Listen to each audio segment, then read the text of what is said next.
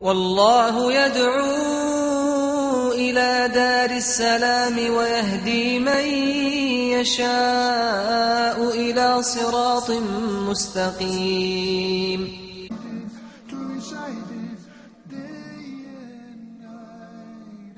Assalamu alaikum wa rahmatullahi wa barakatuh. Welcome to your show in the light of the Quran.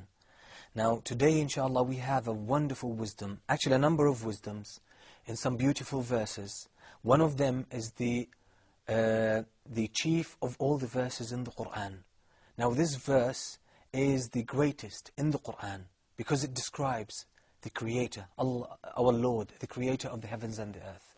It is Ayatul Kursi, the ayah of the footstool, the verse of the footstool. And with it, there are other verses, the ones that come after it as well, where there is great wisdom that really sheds a lot of light on our lives as Muslims, as believers who follow the truth. And it tells us more about our Creator, more about the way He helps us, and more about how we should go about spreading our religion and living by it. Now, we will start with reciting the verses, inshaAllah. Then after that, I will read the translation and we will see the wisdoms and try to benefit from them as usual. أعوذ بالله من الشيطان الرجيم. بسم الله الرحمن الرحيم. يا أيها الذين آمنوا أنفقوا مما رزقناكم. أنفقوا مما رزقناكم من قبل أن يأتي يوم من قبل أن يأتي يوم لا بيع فيه ولا خلة ولا شفاعة والكافرون هم الظالمون الله لا إله إلا هو الحي القيوم. لا تأخذه سنة ولا نوم. له ما في السماوات وما في الأرض. من ذا الذي يشفع عنده إلا بإذنه يعلم ما بين أيديهم وما خلفهم ولا يحيطون بشيء من علمه إلا بما شاء. وسع كرسيه السماوات والأرض ولا يؤوده حفظهما. وهو العلي العظيم. لا إكراه في الدين قد تبين الرشد من الغي. فمن يكفر بالطاغوت ويؤمن بالله فقد استمسك بالعروة الوثقى. فقد استمسك بالعروة الوثقى لا انفصام لها. والله سميع عليم. الله ولي الذين آمنوا يخرجهم من الظلمات إلى النور. والذين كفروا أولياؤهم الطاغوت.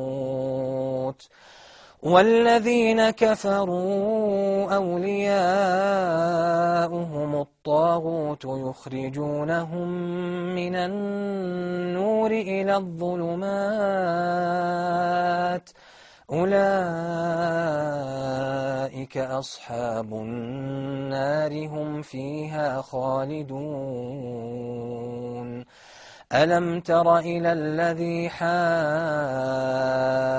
إبراهيم في ربه؟ ألم تر إلى الذي حاج إبراهيم في ربه أن آتاه الله الملك؟ إذ قال إبراهيم ربي الذي يحيي ويميت قال أنا أحيي وأميت.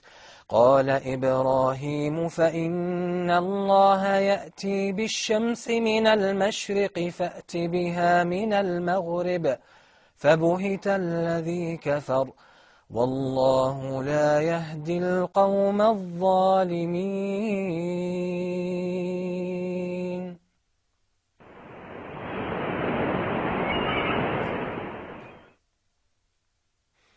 alaikum wa rahmatullahi wa barakatuh. Welcome back. So these verses are among the most important in the Muslim life, in the life of every Muslim, because they contain a lot of wisdom. I will read, inshallah, the translation of their meanings, but I will remind you first that it is impossible, it is by all means impossible to translate the Qur'an. But what we can do is try to translate some of the meanings, because the meanings in the Qur'an are very intense and very deep. And it would need volumes to try to translate the meanings of them. But what we try to do is to get the most important meaning, the most prominent meaning, and within this translation that we, are, we have chosen, we will try to see what really describes or conveys the message that we are trying to deal with, or the wisdom that we are really trying to deal with. Allah says, O believers, spend out of what we have provided for you before the arrival of the day when there will be no bargaining, there will be no friendship, and there will be no intercession. And on that day, the disbelievers are the wrongdoers. Then Allah talks about Himself. He says, God, Allah, there is no deity but Him. He is the living, He is the self-subsisting. No slumber, no sleep overtakes Him. To Him belongs whatever is in the heavens and whatever is on the earth. Who can intercede with Him except with His permission? He knows what is before them and what is behind them. And they encompass nothing of His knowledge except what He permits them to, to have. His throne extends over the heavens and the earth, and He never feels fatigue in preserving, meaning the heavens and the earth. He is the Most High. He is the greatest. Let there be no compulsion in religion. The guidance, the true guidance, has, has been made clear and clearly distinct from error. Therefore, whoever renounces false deities and believes in Allah, then he has grasped the strongest handhold, the unfailing handhold.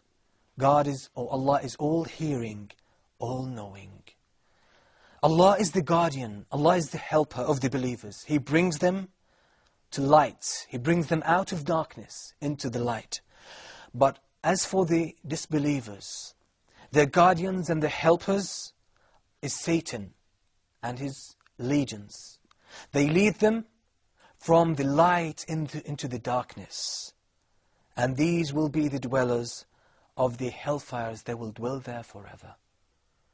Now these verses contain a lot of wisdom. First Allah tells us about the reality of this life, about the reality of wealth. Allah says, spend of what we have given you. So wealth is from Allah. He gave it to us in the first place. So we have to spend so that we free ourselves, we say, save ourselves before the arrival of a day when there will be no recompense. No bargaining, recompense with wealth. It will only be the, the righteous deeds. Then Allah talks about Himself. That He is Allah. He is the living, the ever-living. He needs no support, but He supports all the creation. He gives life to the creation. Taking care of the universe, of the heavens and the earth, does not cause Him to fatigue. Does not cause Him to be tired no slumber, no sleep overtakes him because he is above all these things. Now if we grasp this wisdom, it will tell us the reality of our Lord and of our deficiency and weakness. So Allah, to Him belongs everything in the heavens and the earth. Everything belongs to Allah. He has control over everything. And the control that some creatures have, some people have, is deficient and has its own limitations. But Allah has real possession of everything in the world. No one can intercede with Him except with His permission. Imagine the greatness of the Lord of everything. Allah, that's our Lord. That's the one that we live for. That's the one that we turn our hearts to. in worship. He's the one that we live for. That's our life. This is the most important wisdom. Then Allah talks about Himself, that fatigue does not overtake Him. And He is the most high. He is the greatest. Now, if we happen to learn this, then we have learned the most important wisdom in this world. We have understood the reality of this life. Then Allah gives the Muslims who have achieved the meaning of this verse a very important instruction. He says, there will be no compulsion in religion. We should not force people to enter into Islam. We do not force people to become Muslims. Islam is a matter of choice and conviction. You choose it as your own way of life. Why there should be no compulsion in religion? Allah says, because the truth has become or has been made clear. The guidance has become clear. Everyone can tell this is right and this is wrong. Islam has become clear. And this is the obligation of Muslims to make the guidance of Islam clear so the people are not misguided. Then we cannot force the people to become Muslims. People choose to follow, to follow the truth. So that at the end, on the day of judgment, everyone will face the consequences of his or her own actions. This is what Islam stands for.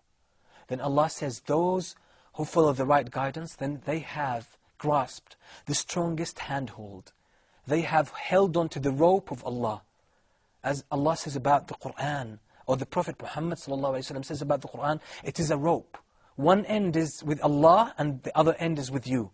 So if you hold on to it, then you will be strong and you will be firm. This is why the Muslims who have understood the reality of their Creator and of their life, they are strong in faith. They have conviction. They have an unwavering belief, unshaking belief. They are strong. They go about in this life very strong and very determined to follow the truth. So this is the state of the Muslims. The, because Allah guides them, takes them out, out from the darkness and into the light. Into the light of paradise, the light of the guidance of the Qur'an, the light of understanding this life and understanding the reality of their existence. Whereas the disbelievers, their helpers, Allah says their helpers, their friends, their guardians, uh, is Satan and his people and his helpers. So what will happen? The, the, Satan will guide them from the light into the darkness. The light that was given to them as they were newly born as Muslims who understand the reality and the, of their existence, the wisdom behind their existence. But Satan blurs their vision, takes them from the light and brings them into the darkness. The darkness of the heart, darkness of the soul, darkness of their life. They live in darkness because they don't understand what they are living for. They're trying to make a purpose, make a sense out of their lives. But the believers have Allah to guide them to the real light, the light of the Qur'an. This is the light of Islam that we should live by. So from now on, inshallah, once we read the Qur'an, we'll try to see the light, the wisdom that is in the Qur'an. Try to have it, try to gain it, try to understand it, try to benefit from it, and then live by this light. So we can really see things with a very clear vision very, we, then we will have developed the right attitude because we have the most precise vision about things, the most correct understanding about things because we see things in the light of the Qur'an, the light Allah gave us. Now these number of verses, these few verses, contain a lot of wisdom. The first thing, the reality of this life, that it's a fleeting desire, a fleeting life, that will go. And it will end one day. It's not the real life. So we should spend and give more, help others so that Allah can really save us on the day of judgment from the hellfire. Then our knowledge of Allah will give us the right attitude in life and the strength of belief and faith and the strength of character that the Muslims should have. Then Allah tells us no compulsion in religion, it's a matter of choice and conviction. Then Allah gives us the, the gift of that He guides us from the darkness into the light. We want to live in this light, take it from the Qur'an. Until we meet next time, inshallah, we'll have another wisdom that we'll try to benefit